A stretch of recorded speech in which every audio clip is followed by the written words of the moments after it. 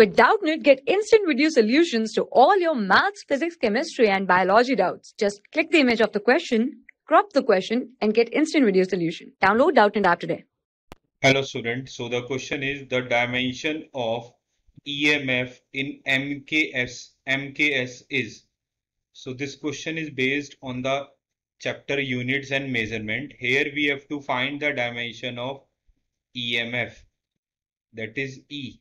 Now E can be written as W upon Q and W can be written as force into distance upon Q.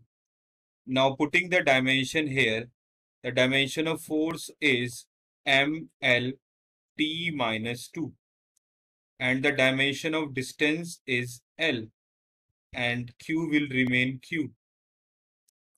So on solving we get ML2 t minus 2 divided by q.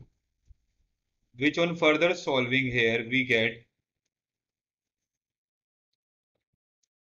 ml2 t minus 2 q minus 1 so that means the correct option of this question is option 4 i hope that answers your question. Thank you. For class 6 to 12, IIT JEE and NEET level. Trusted by more than 5 crore students. Download Doubtnut app today.